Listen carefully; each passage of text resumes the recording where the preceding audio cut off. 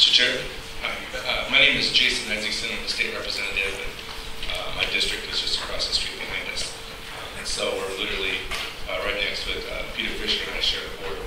Uh, I want to thank you guys tonight, both for having us here and your patience and having these meetings go along and the work you guys have put in the integration district. I appreciate it. Uh, unfortunately for myself, I have to be at a, I'm having a, I do a, and I have a baby class, I guess. And my wife made it very clear to me that I'm on a very limited leash right now, so I'm going to be saying a few words and I have to take off lest I get in trouble more than you guys can imagine. So uh, I'm going to just share a few things with you uh, about uh, uh, my experience on the floor and personally where I'm coming from so you understand maybe a little bit of the motivation. Uh, I was a, a, a, high school dropout, a GPA well below 1.6. Uh, didn't have much going on for me when I left high school and I ended up at an alternative school that literally you know, saved my life. Uh, I'm finishing my PhD at the University of Minnesota in political communication, and I'm a college professor in my day job. Uh, and I can tell you that if it wasn't for alternative school, uh, none of those things would have happened. And so I think it's really important uh, to know that there are many people that are very passionate about this and have a personal stake in seeing the success and understanding how an alternative school district is just a really great tool in the tool bag of our public school system. And, and I think it's important that that's recognized and understood and that that will be what drives me uh, going forward. Uh, in terms of um, what happened, I'm going to talk about four things really. I'm going to talk about what happened, what will not happen, uh, what needs to happen, and how this can happen, just so we're all on the same page uh, from my perspective. First of all, um, I want to clear up any myths that might be out there uh, via emails or comments or anything like that. And if you saw my article uh, that was I was interviewed in the, in the Pioneer Press about this, I want to be absolutely crystal clear so there is no misunderstanding taking care of the Crosswinds schools died in the Senate. I want to say that again. Taking care of Crosswinds schools died in the Senate. It was not given a hearing. When asked, they refused to meet with us. We even went to the governor. And the governor asked Senator Stephen to meet with us, and she refused. I want to be just clear about that. I'm not trying to throw him under the bus, but I think it's important that if we don't understand where we're starting, then we can't possibly go to some positive conclusion for these kids. Right? The House did everything it could, including arguments on the speaker rostrum at 11:45 that night that we were closing in an effort to find a vehicle to make this work. Now, I commend you on what we're doing with Harambee. It was the right thing to do. It should have been done before. Unfortunately, the two were put together, and it wasn't possible for that to happen. And that's why, when the Senate would not move on it, that this would not go through. Now, I know there have been emails and comments that have been going around, but I was there. I was on the floor. I watched it happen. Had the Senate been willing to act, this would have been done but they were handcuffed. We had the number, we had all five members of the conference committee ready to move on on the omnibus bill, and the Senate omnibus bill, all five of the senators were going to vote for it, and then they weren't able to talk about it. Just so we're clear about this, this has been attempted several times in several ways and didn't go through. Now, I'm not sure what the motivation is, but I want to tell you what's not going to happen. South Washington School will not receive that school. Period. It's just not going to happen. The idea that there's a free school building for sale or going to be given to another school district just isn't going to happen. Not only do I say that, but we have the backing of the speaker on that. So I will tell you right now that whatever we choose to do, we have to do the right thing for the kids.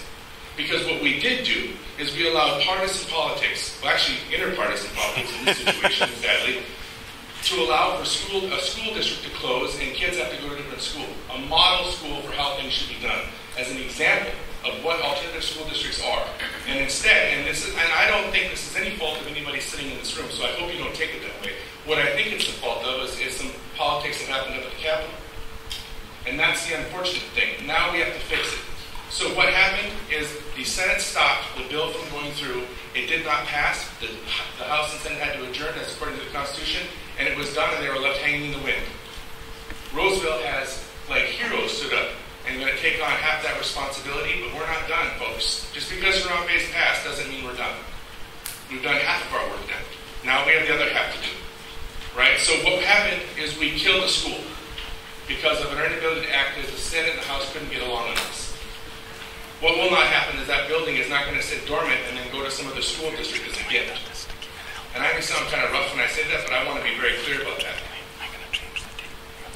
So what needs to happen?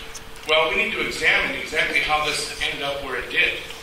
Right? How did we start with an idea that, that as a board you made a decision, which I totally respect your ability to do so, that ends up now with us sitting here on May 29th, May 29th, May 29th, and we don't have an answer, and now we've got two schools, and now thankfully just one school that's going to close. How did we arrive at that point? Well, I think the best way to figure this out is, is and you'll hear from uh, Chairman Mariani, that we're going to hold a hearing, an interim hearing, in which we're going to ask all of those questions. From you guys, from every person that's involved at the Capitol, we're going to sit down and we're going to discuss this until we get to the bottom of how we arrived at this position. That somehow politics trumped kids, and that's not acceptable. All right, so that's the next thing we're going to do. We're going to hold a hearing.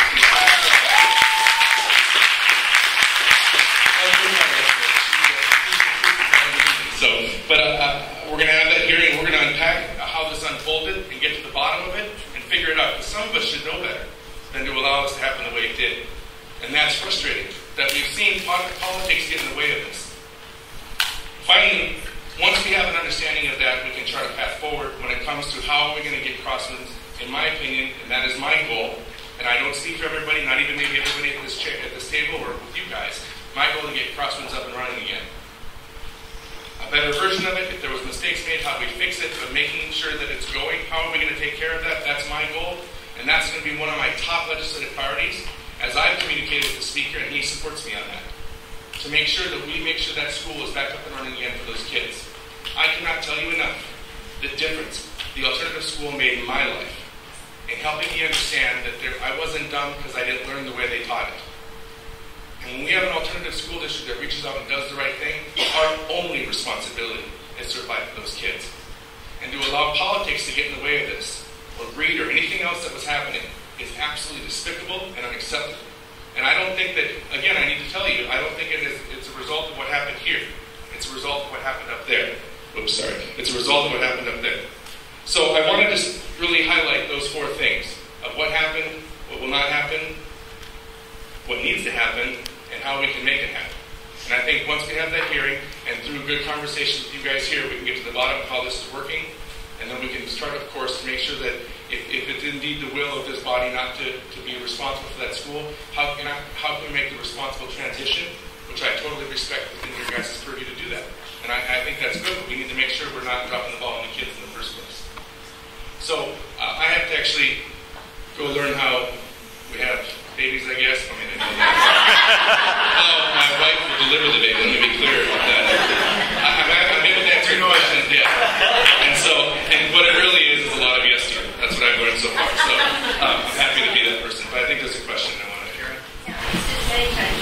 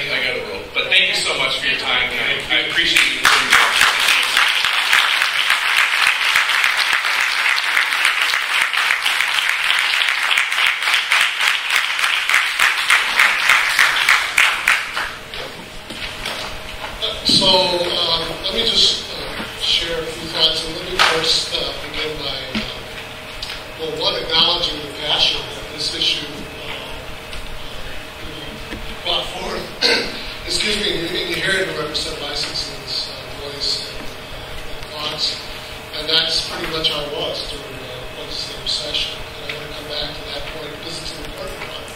Uh, this isn't just passion. Uh, it's disconnected from history and decisions and frankly bigger policy issues that uh, we uh, want to be able to promote. Uh, it is connected to those things. But let me just start by thanking all of you for um, for doing this. Uh, you know, at the end of the day, we're finished with your other jobs board members listen very patiently to the panel and as the economics as a fellow elected official who often sits uh, uh, as later, later, you know, I want to acknowledge uh, uh, your commitment uh, to the education of our kids and also want to thank the audience for uh, particular percentage that were also giving them their, uh, their time. you know, the, the, the big, broad good news, of course, is that you know, we passed one heck of a good E12 bill for a change uh, in, in Minnesota. And uh, I think folks are going to be talking about this bill for quite a while come. It opens up some great uh, new uh, frontiers for us that we were struggling with as a state uh, to do with uh, early learning in particular, in particular and with uh, uh, kindergarten. And we do it in a way that creates um, some good space for, for each, of our, each of your school districts, including some good financial space, space that uh, all our public school, school districts uh, badly needed.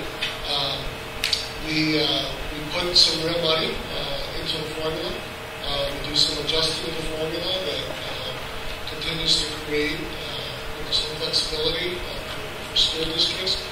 Uh, I frankly, uh, Senator, with all due respect, that the House bill I thought was uh, stronger in that regard. Uh, it was such a good bill coming out of the House that even as we met in the Senate, we came up with really uh, it's, you know, Minnesota, it's, it's, it's high time that we had that.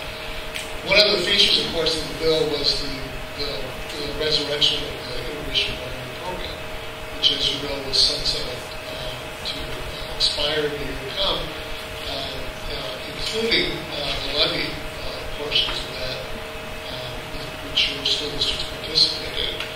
And, you know, that obviously would have had uh, tremendous negative impacts on all of our school districts. But frankly, I think also on the good public policy in the state of Minnesota. And I remember when we lost um, that in the special session a couple, uh, a couple of years ago, and I was sitting dejected after spending, uh, gosh, I think the, the final vote came down at 3 or 4 in the morning.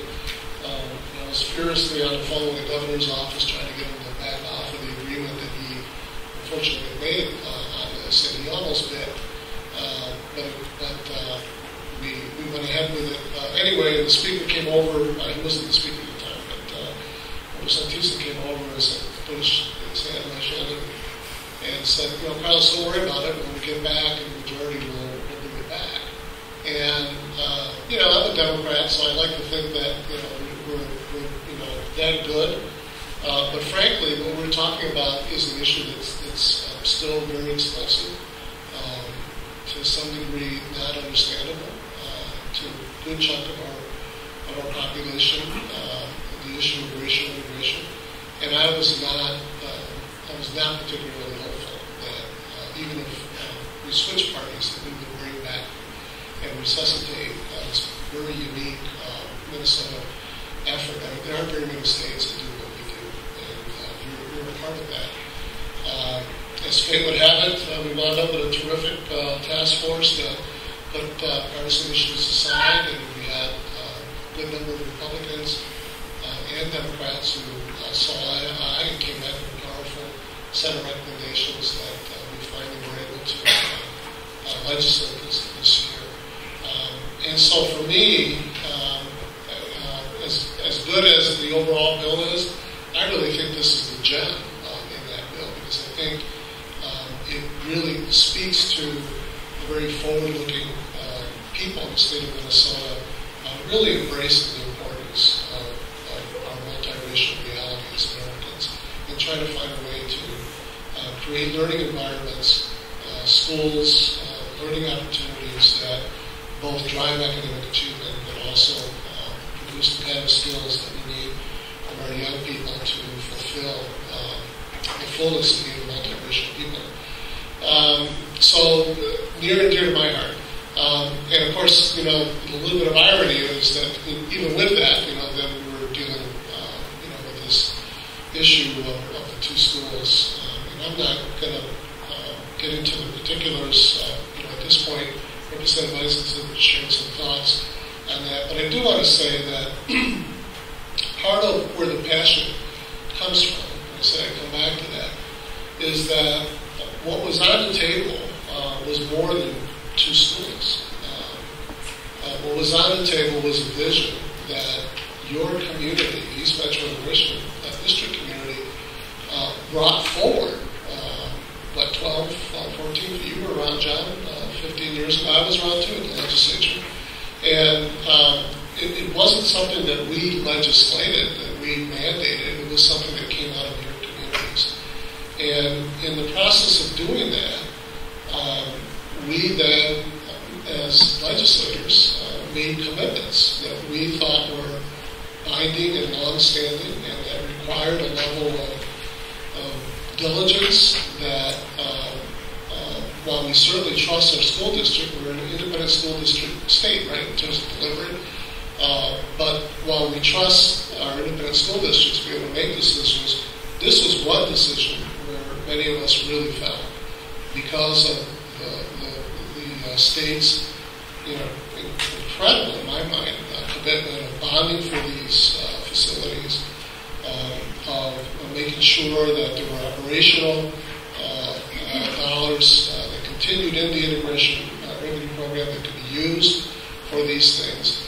Um, that um, we felt very passionately that this was really a joint decision. And so part of what we were struggling with was what does this mean for integration in the state of Minnesota? I know other people are thinking about it for other legitimate reasons, but as state policymakers, for many of us, that was the first question, not whether one school district gets a building or, you know, what the finance, which are all legitimate issues, but what does this mean for the vision that your community brought us, that we incorporated into our understanding, our, our framework of state policy relative to uh, racial and economic integration as an important facet of our state.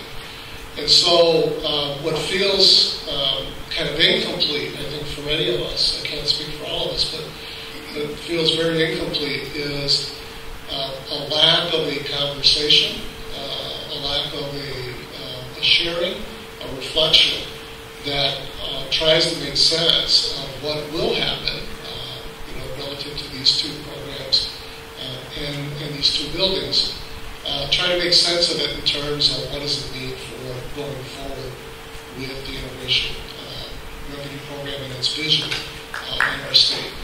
And so part of the, the hearing uh, work that we want to uh, be able to do then is to have those kind of conversations. And, and obviously uh, those kind of conversations will involve you know, some of the nitty-gritty decisions you know, relative to both of these schools. But I would hope that it'd be a bigger conversation than that. Uh, I would hope that it would be a conversation um, that uh, hopefully in the end affirms uh, a vision here. Uh, perhaps affirms it in some kind of a different delivery system, but, but nonetheless affirms it, and that we uh, go forward uh, learning whatever needs to be learned uh, from our years running this particular very unique pair of schools in the state of Minnesota. Um, you're sitting on a phenomenal policy gem uh, with these schools, and we want to make sure that uh, any decisions going forward are made against a full understanding um, of, of, those uh, of those living environments. So, um, you know, my advice um, is for this community to, to slow down uh, and uh, find a way. I'm, I'm, not the technician here. You've, you've got a terrific leadership in Roseville that step forward and, and a way to be able to uh, do that relative to one of your schools. Uh, but I would uh, encourage that kind of a slowing down uh, process, a full engagement uh, process in the coming months. Uh, one of the uh, one of the bennies of being a chair of a, of a legislative committee is that I can hold hearings, and, um, and so I, I I'm looking forward to doing that and having public conversations uh, with you, and, and, hopefully we can go into the next legislative session where we have all sorts of leaders on this issue, and most importantly, our students uh, continue to come uh, so you have that commitment on my part, um, and um, I look forward to the upcoming conversation.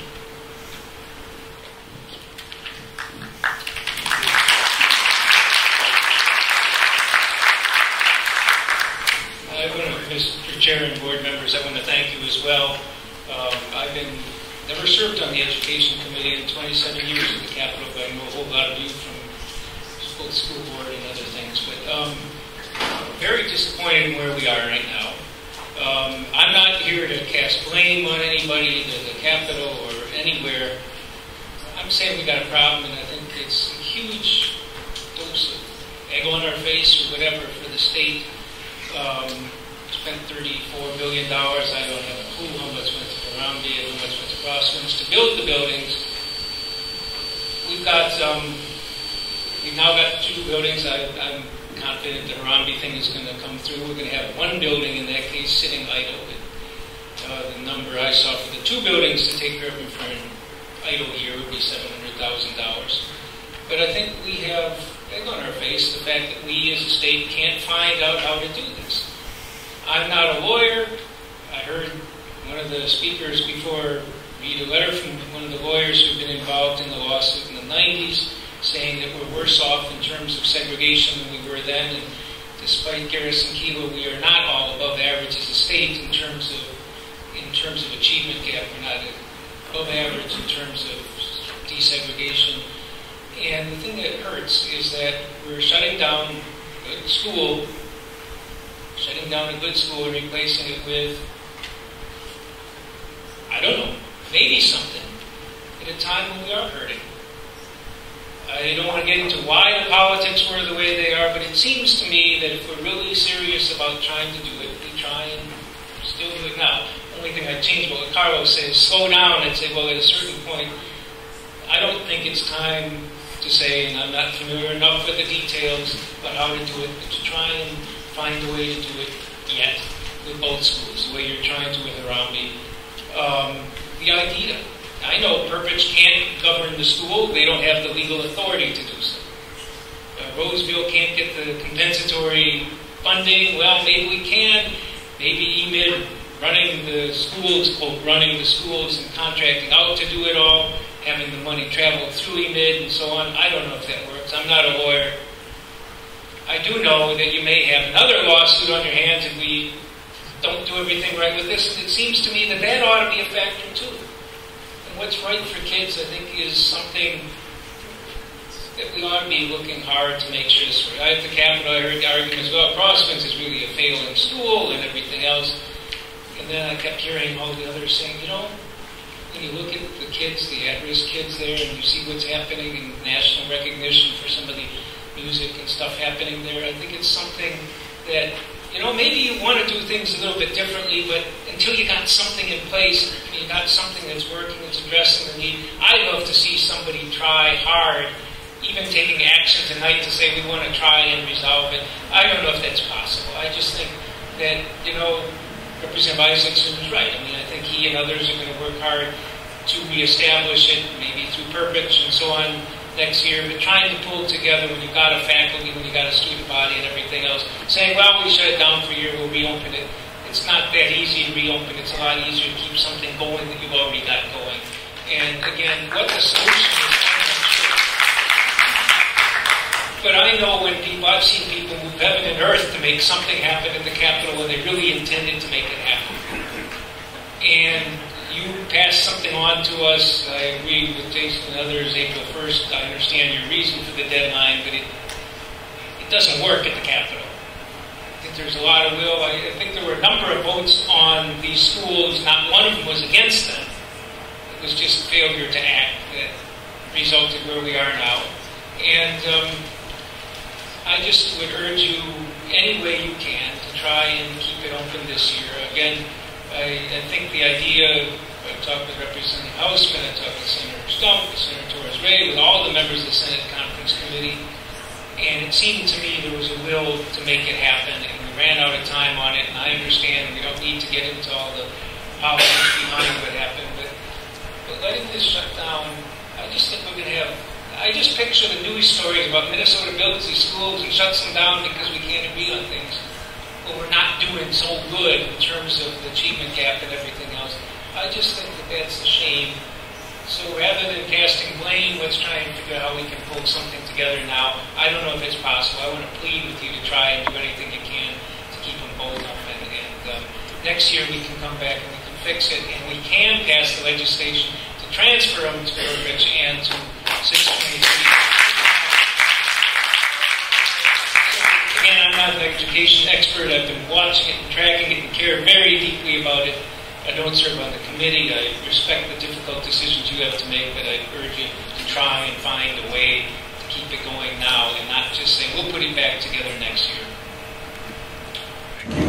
Uh, Would you stand for questions for a second? Yeah, the second question, because I think the board, no matter five one way or five the other way, it was never about the school not being good. There was a lot of um, enrollment situation that took more money to continue it. There were a lot of decisions by the other member districts they could do with their students with a certain amount of money. And so I think look at it, you understand that there was a lack of money and, uh, and not a really good school. And also, I just want to appreciate my own district um, doesn't have any students that attend either school here, but we certainly appreciate the money from the integration, the MLC, and alternative learning centers, which has, as some of you said, turned families around, people around, and all that money that comes with integration money helps many students um, across the country.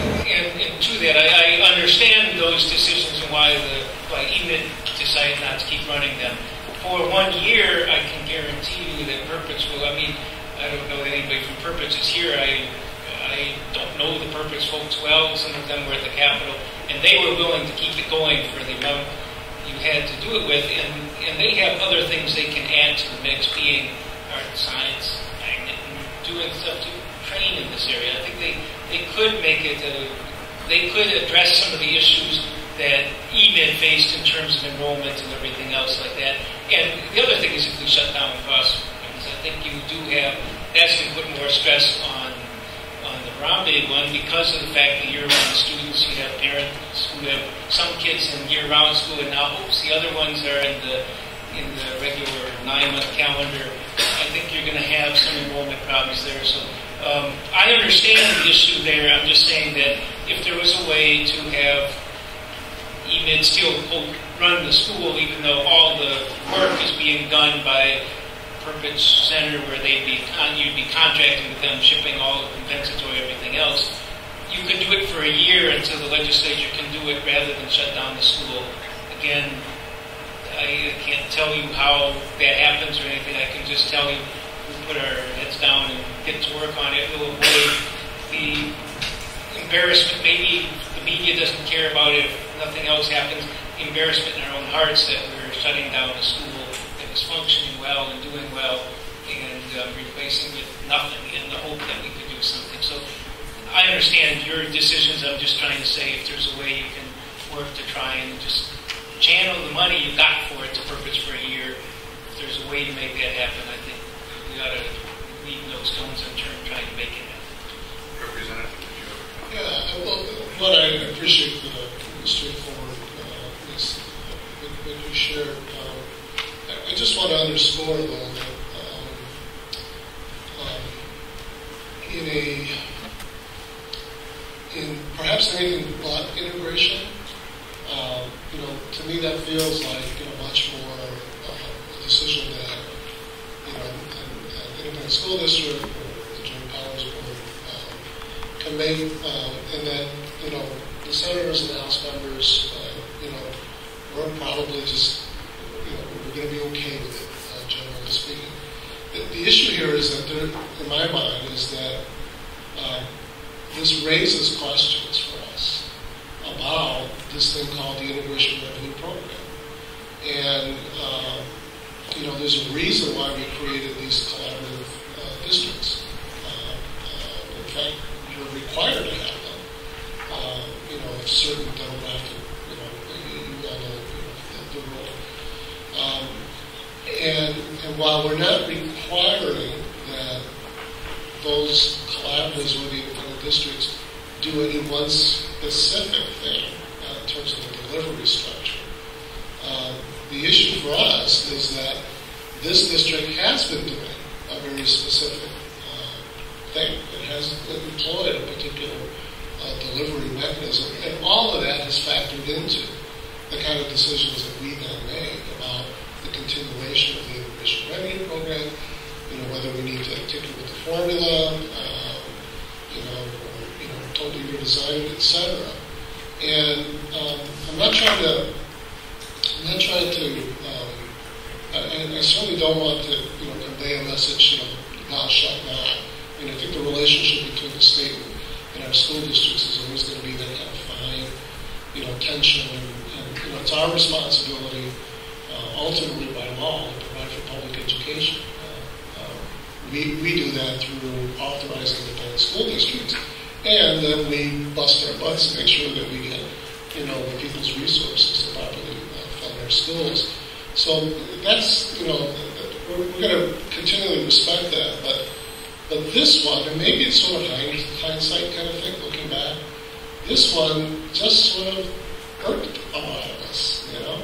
And it, it wasn't even the irking about someone getting a school district, although our capital investment chair certainly has some very strong feelings uh, about that. It, it, really had more to do with this sense of, uh, I thought we had this sort of understanding here, and we're making, you know, these appropriation decisions, this resurrection, and then this thing pops up. And this thing's, and this thing pops up in a way that potentially uh, can undermine the entire enterprise. I mean, we certainly have plenty of uh, elected officials who uh, uh have absolutely no interest. Uh, just look at the amendments they offered both the House and the Senate as we moved our bills. They kept stripping out any word that mentioned race, you know, or you know, uh, integration. So those are very real things for us to struggle with. And so when we when we come across a you know a decision that uh, creates the kind of controversy that it did, it, it kind of weakens our hand. This is what I'm saying. And so I think again, I'm not trying to admonish you. What I'm saying is I think it's really important, um, and I'll certainly you know uh, take the fair share of our blame. You know, I mean the state over over years has exactly grown, you know, the innovation, you know, revenue uh, program. Um, even as the state continues to change, you know, we're cutting up the same pie, you know, smaller and smaller.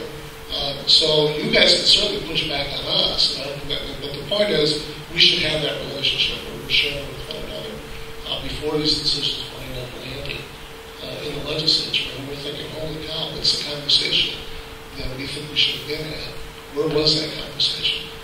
Um, so that's, you know, it's offered in that spirit of truly partnering, you know, with these special um, um, creatures, in this case, these collaborative uh, districts, um, uh, sharing with them up front so that public policy is focused, is not undermined, you know, and continues to grow and, and evolve.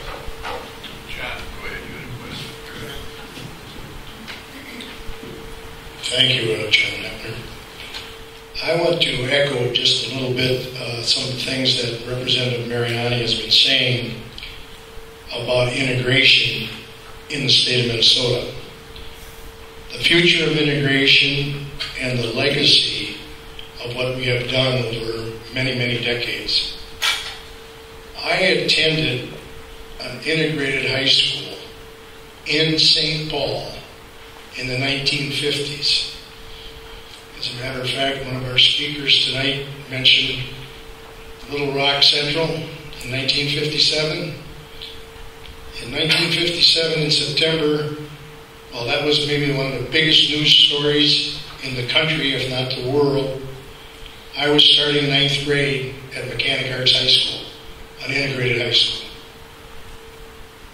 And I have taught in St. Paul and integrated schools in the 60s, 70s, 80s, and 90s.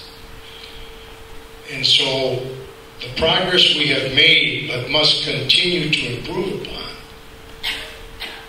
not just in St. Paul, but in all of our 10 districts, really involves what we really truly believe in terms of our commitment to what I was committed to as a high school student in the 50s and as a college student in the 60s, and that is integration.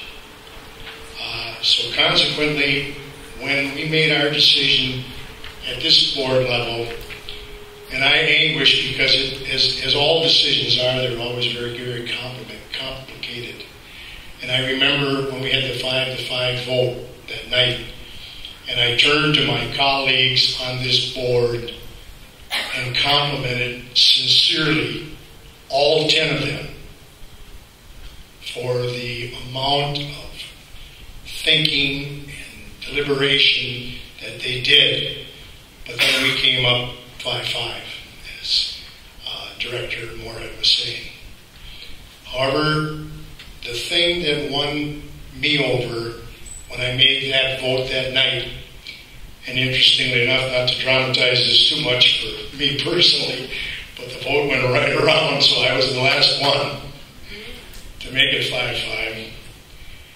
But I felt that it was a question of what was a little bit more important in terms of integration families and kids, or numbers and money. And that night I voted for families and kids.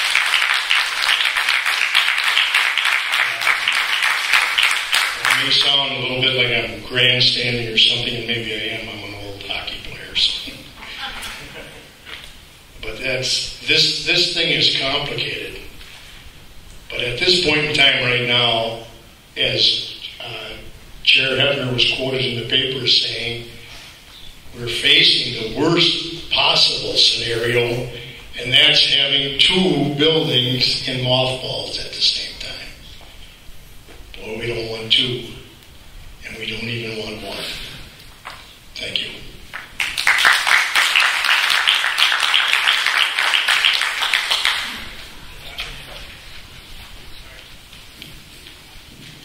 Yeah, and again, I want to thank you all for coming here. I was very impressed when I heard how many uh, legislators were going to come here tonight, and I really appreciate the commitment that you made to take an evening out of your lives to uh, come and talk about because this has been a very complicated issue and a very uh, an issue that I think will benefit from hearings in July. Um, the normal time for hearings, but uh, it's a good, a good uh, opportunity to talk about some of the things that I think we can learn from this experience. And one of the things that I think we can learn is the unintended consequences of some of our laws. Um, if we back up a little bit, before the 5-5 vote, um, I had made a motion because both Perpich was asking us for more time so they could get legislative approval for $2 million. Initially, they were going to request 2 to $3 million um, to operate the school. No, that is not. Please don't interrupt our speakers.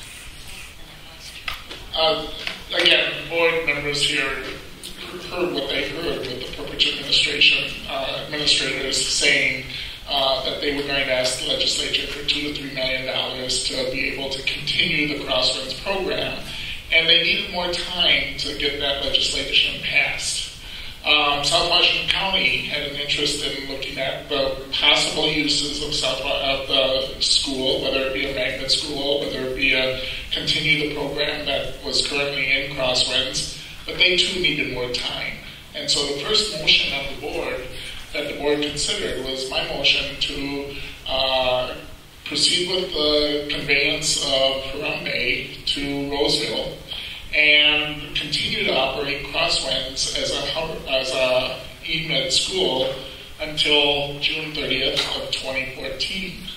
That would give Perpich more time to go to the legislature and get the authority that they needed, get the money that they felt they needed at that time. Would give South Washington County more time to look at possible magnet programs that could put into the Crossroads building and the like. But there was a nuance in the law that said if the two schools were to be closed, not at the same time, if we were to close the Harambee School on June 30th of 2013 and the Crosswind School at June 30th of 2014, it would cause problems with some of the rights that the teachers had in those two schools to bump into the member collaborative schools. Under the law that was initially passed when the two schools were opened, uh, the law was written and said that if the two schools closed at the same time, all of the teachers within the district would have the opportunity to bump all the tenured teachers in the district, uh, in the EMID district would have the opportunity to bump into any of the collaborative schools that were sending students to those two schools. And if we were to separate those uh, closing dates, we were going to have a June 30th, 2013 closing date for Bay and a June 30th, 2014 closing date for Crosswinds.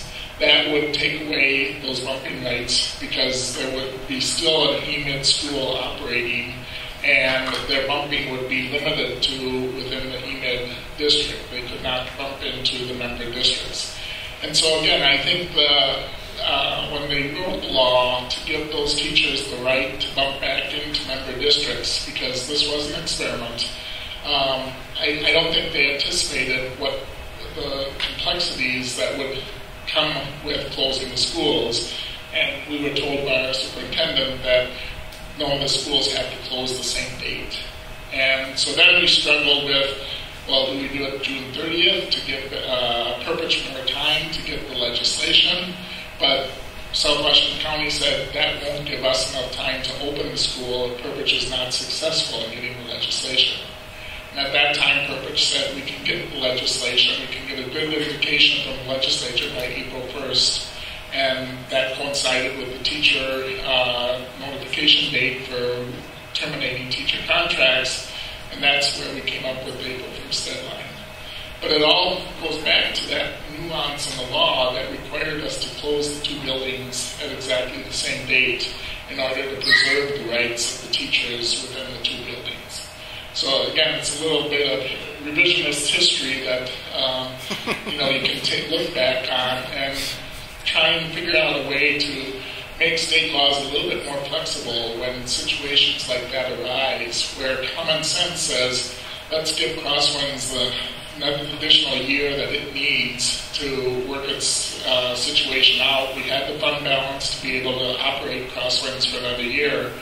But by doing that, we were going to strip teachers of rights that they had under the law that they would only have if the two buildings closed on the same date. So, again, I, I think uh, all of this information is helpful information as we look back on some of the les- lessons that should be learned from uh, this entire experience, which has been a regrettable experience. I, I hear you. Again, the conversation should be have more people at the table figuring these things out. Mean, we kept bumping into things at the legislature that you all hadn't thought about. Obviously, we haven't thought about it because we haven't been part of, the conversation. So I think one of the lessons here also is, you know, it's really about fuller, you know, conversation and engagement as well. You know, and I, you know, Representative Isaacson already talked about it, but you know, frankly, even that situation would have, would have worked out if we had not run into the buzzsaw that we ran into, uh, particularly unfortunately, Senator Marty, with some of your colleagues um, because that's what really made it impossible for us to work something out. And so we wound up in this terrible, you know, situation of chicken between the House and the Senate. You never did good policy. You know. I mean, I, I don't feel good about. Uh, I don't think any of us feel good about where, where we came out in the end. But your, your point's well taken. But again, it just reinforces the need for that. What I talked about was really a relationship that we had. It's pretty special with the school district. This you know, collaborative. Uh, uh, community with the state. Uh, because as Senator Marty pointed out, you know, a number of us stuck our necks out, you know, years ago. And, you know, you don't put volume bills together unless you're trading stuff off. We traded something out to build these two schools. I don't remember what it was. um, but, but, I mean, that's the, that's the level of ownership, I think, that we went into. And I think uh, repeating ourselves, but I think it, it, it does mean uh, that these conversations need to be much more fuller conversations than, than we've had in the past. Jim, you want to pass that mic up? Thank you, Mr. Chair Board. I appreciate the opportunity to come before you this evening. Um, this for me has been a very um, eye-opening experience as I've gone through this process. And in some ways, it's raised a lot more questions, tough questions that I have uh, about the process going through. Um, first of all, I did carry the bill for the Romney School, uh, worked quite hard on that. And I have to take my hat off to Roseville, which has always had the best intentions from the time this first started back over 20 years ago. I was a parent in, in 622 at the time, and when I heard about this collaborative about Roseville going out to St. Paul, I approached our school board chair, Chuck Weaver, at the time and said, hey, we should become part of that. Eventually they became part of that. Was Tri-District at the time. My kids were part of the founding kids that came into this program. And I was a citizen rep on the board at that point in time. And it's interesting because we hear revisionist history, and some of the facts I'm here to put out tonight is not exactly the facts that was faced with us when I was sitting on the board at that point in time. So I, I do question some things a little bit. But one of the things that comes back to me is we're here for the kids and take care of the kids. And I think that's one of the things that had kind of got lost in the process. And one of the things that comes to me, it seems at times it feels like it's raised more questions for me about are we here for the dollars or for the kids? Are we here to get a free school building? And the reason I'm seeing some of those questions is I've had people from South Washington County who've come up to me and said, hey, uh, we were thinking that our elementary school was going to be moving to that building, so we were going to get free of charge. On South Washington County website, as of yesterday, it was saying uh, District 833 appreciates the efforts of local legislators as they supported the dis- district's desire to acquire a building at no cost to local taxpayers, knowing that district is and will be experiencing growth and will be able to fill the building in coming years with students. And what this starts raising for me is there an inherent conflict of interest occurring within the board here, where sometimes that there may be other things that work here, and it may be because of part of the way the governance is set up. I'm going to use an example. Northwest Metro Integration District. They have 22 maintenance schools going on right now. And they started after East Metro came together. And so the question I would ask is we're struggling to try to keep one or two going. You know, what is the commitment? And these are questions I think that need to be asked as we go through the process. I know that sometimes it gets very tempting to take a look at the money that's coming through. I know that because of it being a special school district, there's special monies that come through. And I know that the schools have had, had concerns. I've heard concerns uh, from the legislators at the Capitol. There's been a lot of misinformation saying, oh, it's going to cost our schools a lot of money because we've got crosswinds going. And actually, as I've done looking at things, I realize that if East Metro Integration District was not in process right now, South Washington County would lose $2.1 million right off the bat integration aid. Um, I know White Bear Lake would lose $800,000. Spring Lake Park would lose $800,000 you know, these are some of the dollar amounts, and I, am hearing all these dollars that are passing through to these school districts, and I'm hearing people say, oh, we can't afford to run crosswinds right now. And raises questions, where are the dollars going? What are they being used for? Are we getting, are we getting the integration to happen, or are we not getting it to happen? And that raises some of the questions that I've come back to. Um, I think it's been very courageous on Roseville part, and one of the things I circle back to is that these schools are joined, whether people like to look at them or that's one of the things I learned when we first opened up Harambee, called Tri-District at the time. Is one of the things that we were struggling with is that we are on a different school year here. We're on a different school year at Crosswinds. When we had parents having to make the choice between A and B, you have kids in one program and now going to a traditional school year, it did not work, and we were losing parents and students because of that. Right now, 25% of the students at Harambee have got families that were at Crosswinds. You're putting a risk at 25% of those families having to make a decision of where else to go. You're putting the courageous decision that Roseville has made at risk. I think it is very important that this school board take action tonight to go forward with crosswinds in another alternative mode. Because without doing so, without taking a look at the long-term consequences, you're dooming uh, the efforts that Roseville is trying to do here uh, to potential failure down the road. Um, some of the other things that need to be kept in mind is that one of the things that has bothered me in the process is people really come after Perpich and, and knocked in the process to the point where I've even seen legislation put out specifically saying money appropriated to Perpich may not be used to lease a school or a facility operated by East Metro Integration District 6067 to continue any programs that were administered by that district.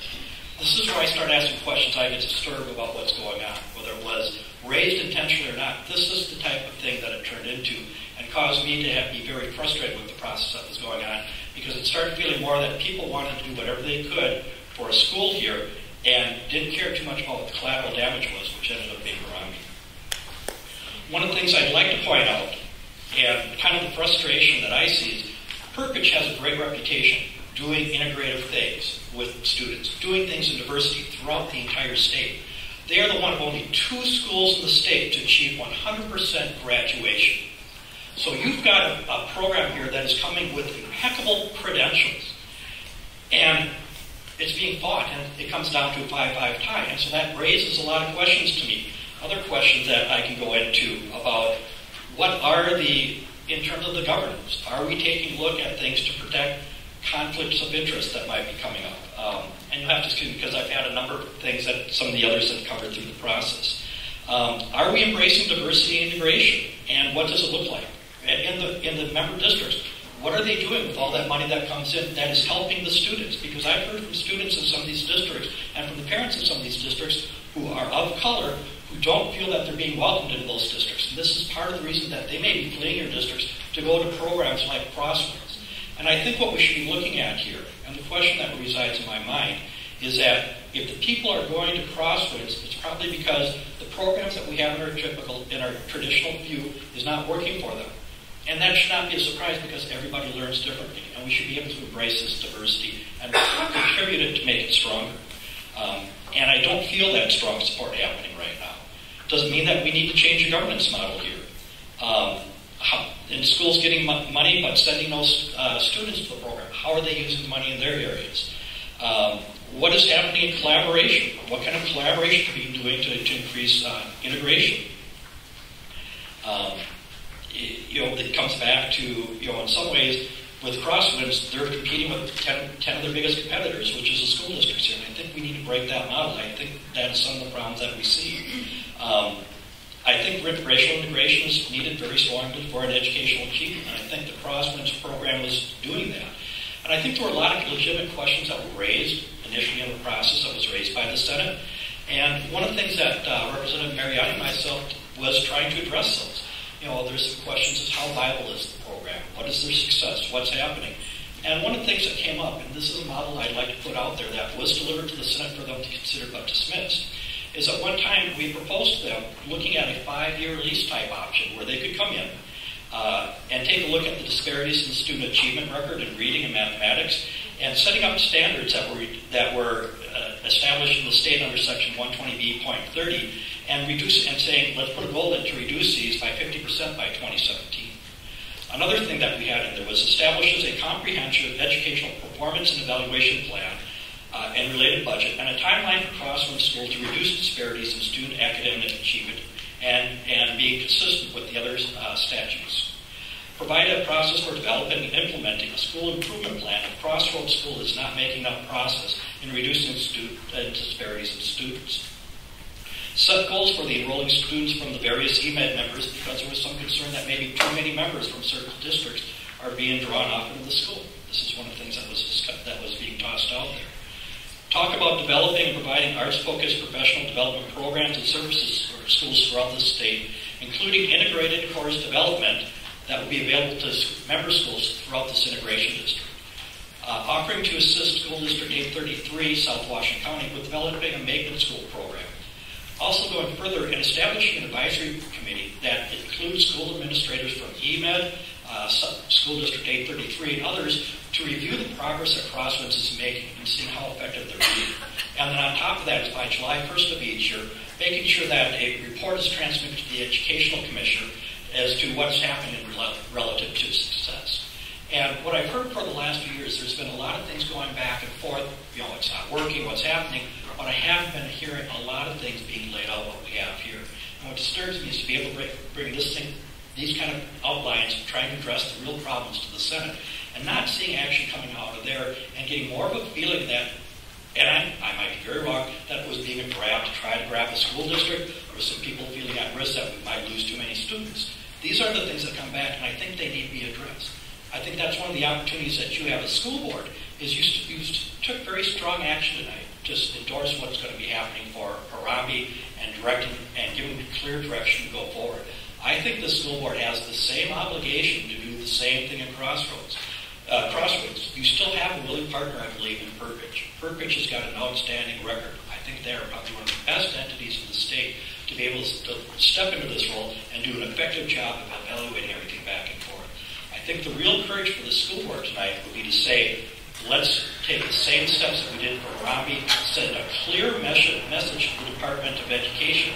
And I think with that clear educate message to the Department of Education, that we would be able to move forward and get some good language to get a great program saved without putting another program at risk. And so I challenge you tonight, you have the power to send that message and go forward with a directive saying we are behind trying to save this program, we're behind Perpich, let's do what we can to make this work.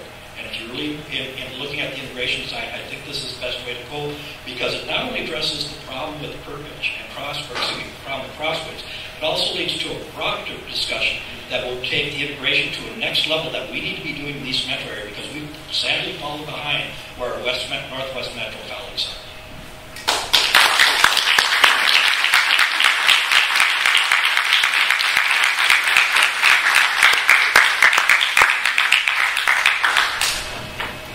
Boy, it's hard to go last, but I'm feeling I don't have the last word. I'm JoAnn Ward, and um, and board members, principal, I appreciate your giving us the opportunity to come and talk and share with you the concerns that we have and the hopes and the visions that we have. I think you've heard most of that, but I I decided when I was in fourth grade to be a teacher. By seventh grade, I was looking around and seeing kids fall through the cracks. And at that time, I not only wanted to be a teacher, I wanted to make schools safe places for kids to be. So they could be successful. Uh, they could reach their potential. And all the other good things that we want kids to go to school for if they don't feel safe, then none of those other things happen. And as I've worked in education for a number of years, in one way or another, uh, a lot of time, I actually got into money um, in one of my previous jobs doing essentially an integration project with restorative justice, and very successful. Really making a difference in kids' lives, and you can see it every. So that there was integration. Um, we, but we need the models. We need the leadership that Purpich can give Crosswinds. We have parents who are so committed and passionate about this. I helped build a good number of schools in South Washington County, leading the referendum and getting the money to do that. And I know how hard it is. And I kept people would come up and say, "Oh, but you know, somebody's complaining or throwing rocks in front of us so that we can't do what we want." And I said, "They're here because they care. We just need to talk so that we can come to an understanding." I really believe that you laid out a plan that, in good faith, you expected to be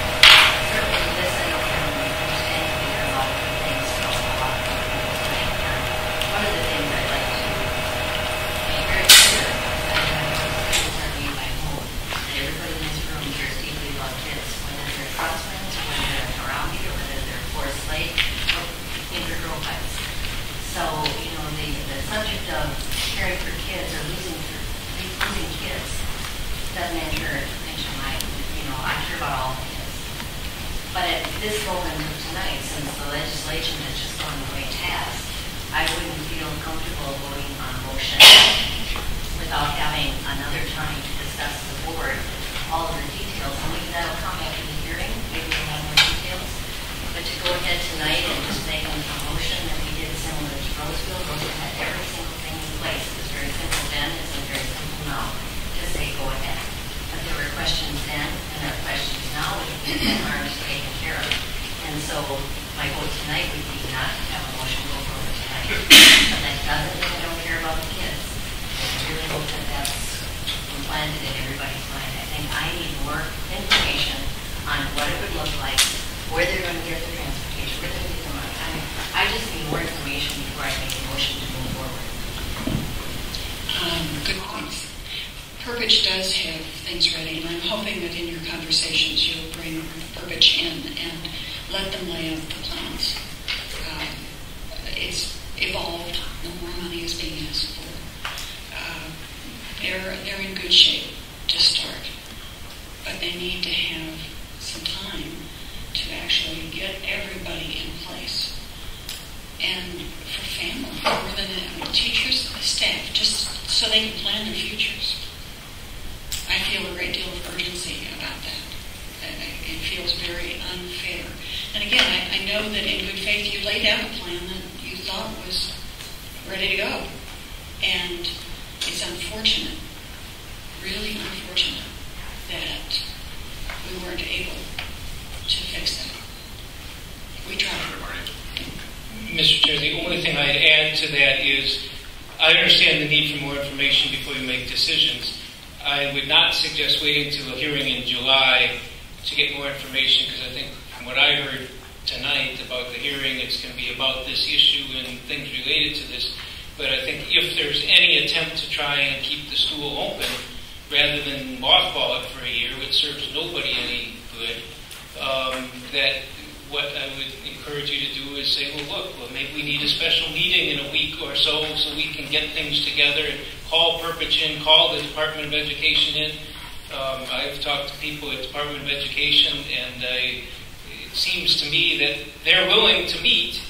I think the Perpich people are willing to meet, and it just seems to me that if, you're, if there's any chance to do it, it seems to me what you have to decide tonight is whether it's a special meeting or whatever to make it happen. I think that's the only way you're going to have a chance. I think you wait till July.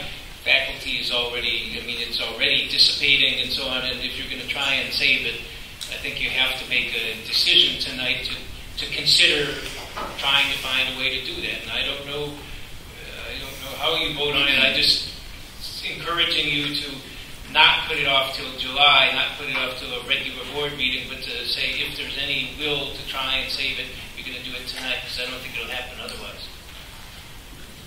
Uh, Thank you very quickly. One thing I'll mention is that I do know that one of the things that was kind of tied into it is that there are transportation dollars uh, that were tied to bringing students from outside the area. And I think that is something that Harambee has been working on and trying to deal with that. So in other words, some of the same issues that Harambee is dealing with are going to be the same issues that Perpich is going to be dealing with. If they can be, figured out for Harambee, why cannot they be figured out for Crosswinds? I know that people have questions, and it keeps on coming back to dollars. I know that the dollars that will be following for Crosswinds will be the same dollars that were available to Harambee. So it just raises questions, why is it okay for the same things to happen for Harambee, but why is it not okay for the same things to happen for Perpich?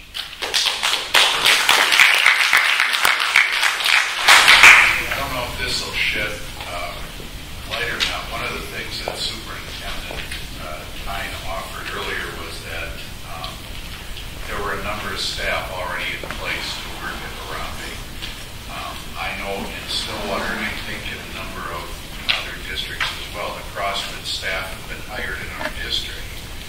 Uh, if we were to make this move, the Crosswinds people who are coming to our district would either have to say, well, we're going to go back or we'll honor what we, you know, said we would do by coming uh, into your district. I, I would wonder how much, how many staff would be willing to say, well, you gave us a chance, but no thanks, we're going to go back. And then what happens a year from now um, if something, you know, as all of you have said, we thought we had something in place that honored parents, students, and staff going forward.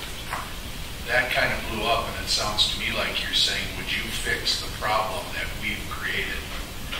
And I'm a little bit reluctant to leap into a breach tonight and say to you, yeah, we'll fix your problem. You couldn't get it done over there, but now let us go ahead. We'll be the good guys tonight, and I, I don't know that, I, I'm a little bit skeptical about doing that. Jim? To add to that, uh,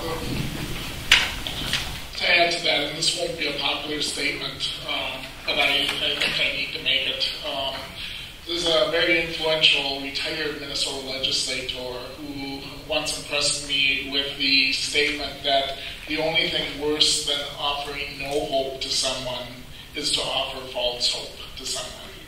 And I think if I were to support a resolution similar to what we uh, supported for Harambee, I, I think that would be uh, sending out false hope to people uh, across one's community. Um, there are huge differences between the Perpich uh, Art School and uh, Independent School District 623. Um, I believe, if I'm not mistaken, Perpich is restricted in statute with the number of students that they can serve. I believe they're restricted in statute with the grades that they can serve.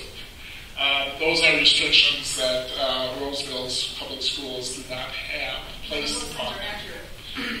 Um, again, a, there are just too many unanswered questions uh, relative to, to the Perpich governance that Independent School District 623 does not have to deal with and does not have to address. The issues to try and find a way to keep Harambee open are much easier uh, because Independent School District is a fully fledged independent school district with no constraints on the number of students that they can serve, no constraints on the uh, program that they offer and the grades that they serve and things like that, that I believe are contained in the Perpich authorizing legislation. There's just too many unanswered questions for us, for this board to go forward and say, we'll try and do something to keep Crosswinds open tonight. That's not to say we won't try and do something, but I don't want to have a resolution on record tonight offering false hope to these individuals. Mr. Chair, uh, Jim, I, I, I don't know the details of it and so on. I do know Roseville doesn't have permission to operate a year-round school, and I've talked Superintendent Thein and Superintendent Moore and others and people at the department, and I'm convinced they can get that authority from the department. But the question is whether there is an option where EMID would in effect be the nominal responsible party for the school, contracting with, if you contracted with Roseville and contracted with the Perpich to do it, where in effect you've already got the permission to run the year-round school, you've got the permission to serve these grades, you've got the permission to do this. I don't know if that's possible. It seems to me that those are things that would be worth a week of consideration, bringing in the Perpich people, bringing in the Department of Education people, and trying to do it. I, I, to the chair's comments, I don't want to go back and revisit well, how we should have done things, and certainly don't want to cast blame. But it seems to me, if you wanted to say, looking back, I, mean, I just don't want to say you're asking, we're asking you to fix our problem because it is our problem, meaning everybody in this room and everybody in the state who cares about desegregation. Everybody here, it's all of our problem.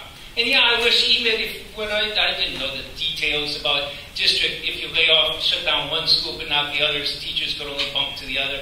But you know, if thinking through things the right way, you might have come to us and said, well, we could change that law so we have one more year to deal with the Perpich Center thing so we can do it that way. I understand. My point is, I don't think there's anybody here, the legislature, who is trying to make this happen.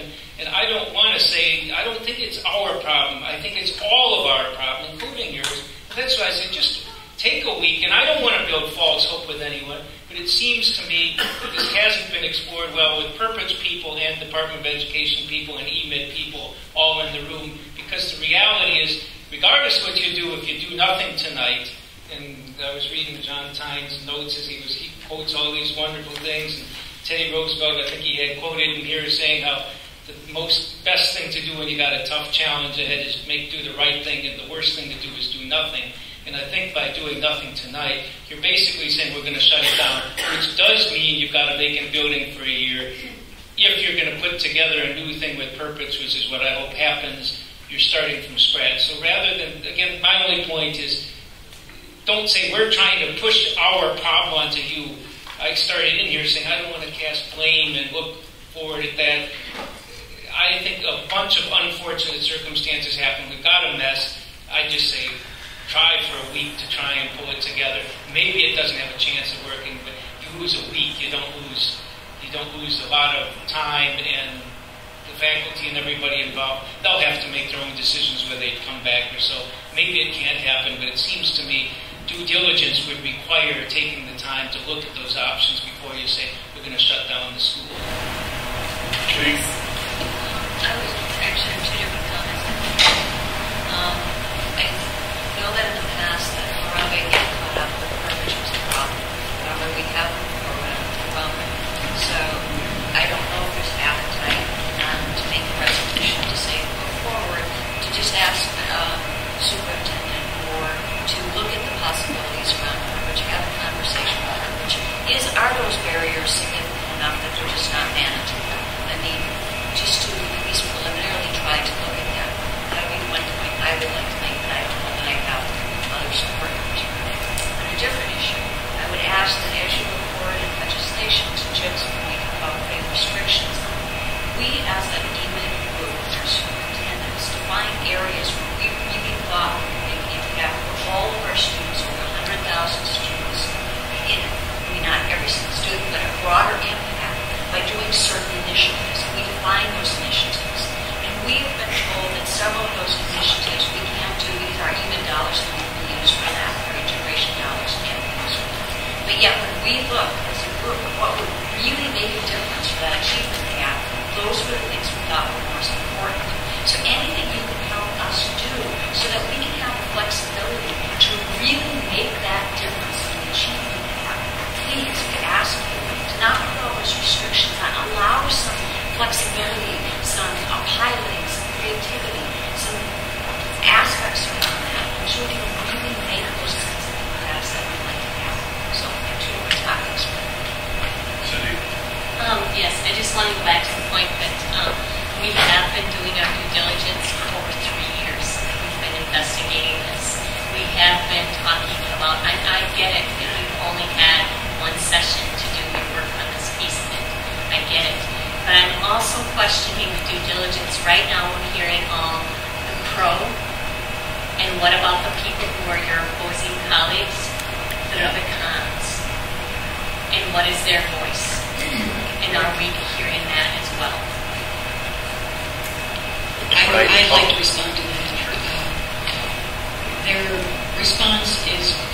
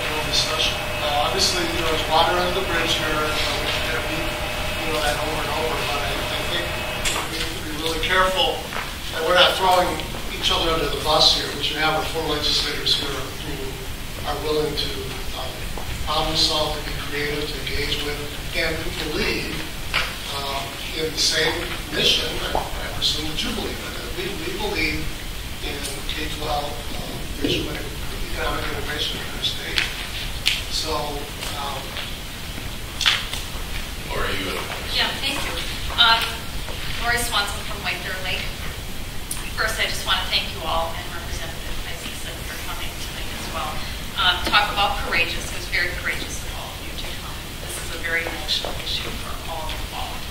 And to reiterate and agree with you, we all do care for kids at the end of the day. Now, how we go about things, that's the difficult part. So we all do care for kids. Um, and one last point that goes more closely, I guess, to White Bear than, than the larger EMID, but uh, Representative Fischer, you brought up some fabulous points tonight, some points that I'm sure those who aren't here tonight speaking had those questions, and um, there clearly are a lot of questions on the value of the integration dollars and the programming from the state. I wasn't confident at all that this was going to be part of the legislation, and we've had conversations locally, what if? I mean, you have to plan. So thank you, thank you, thank you for supporting it. We really appreciate it. So bring that down home to White Bear Lake, we do a lot of good in White Bear Lake, and we have proven results with our $800,000 that we keep in White Bear Lake.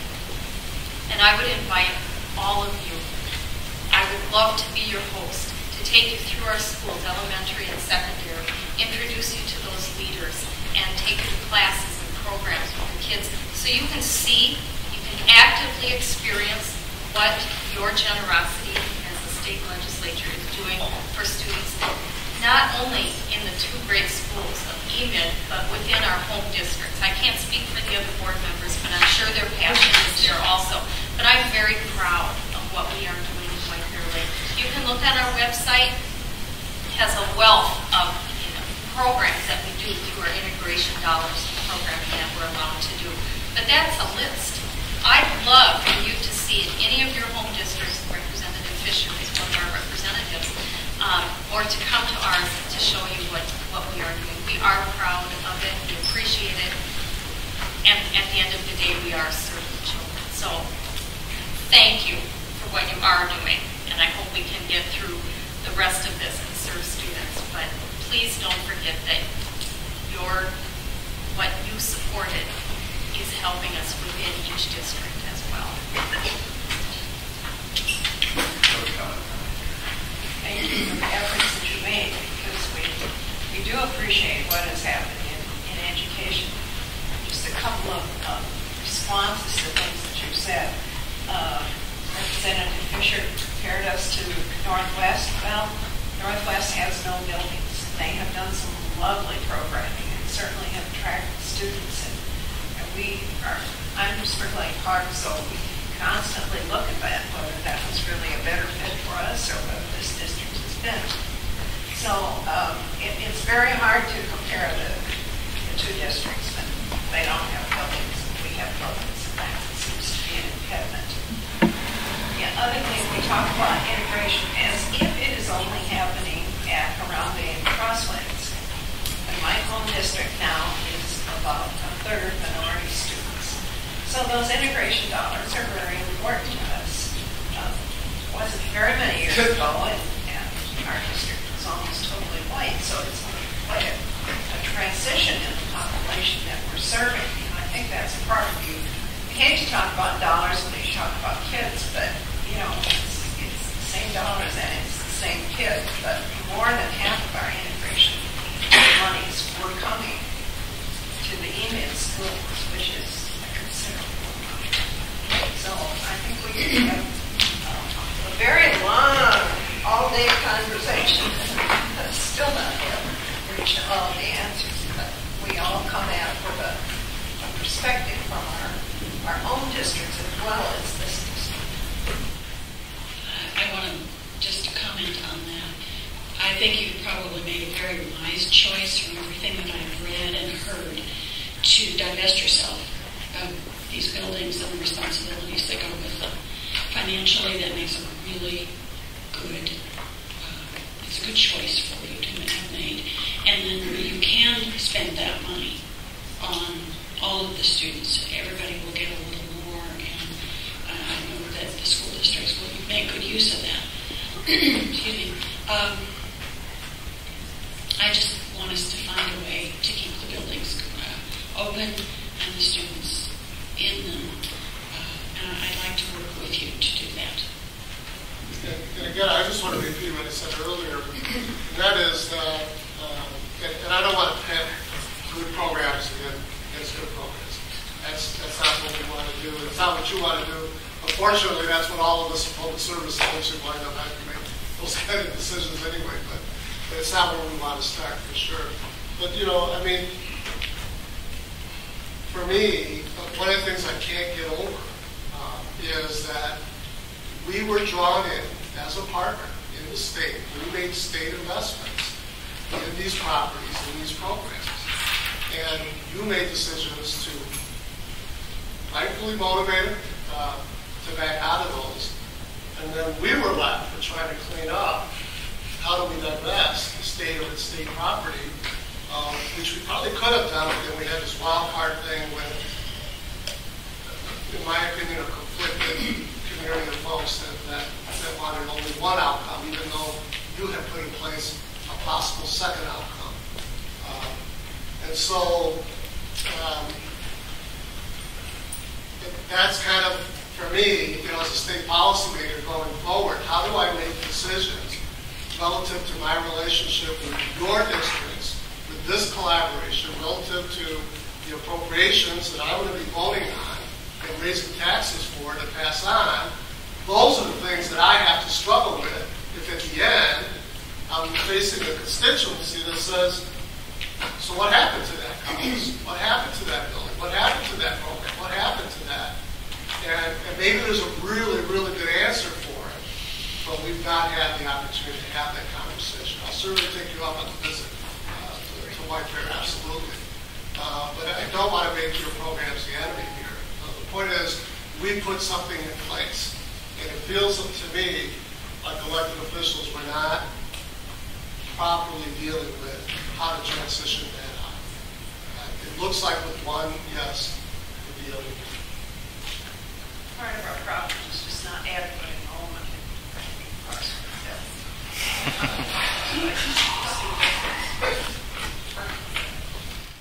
That school was at capacity in 2007 Excuse me, ma'am.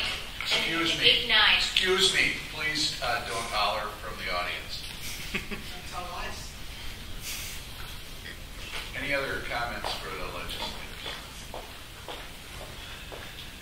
Thank you for coming. forward to continuing conversation. Yep, thanks for coming out this evening. Thanks for your work in the legislative session as well. Uh, Chair Hunter, could I make a statement? No, you may not.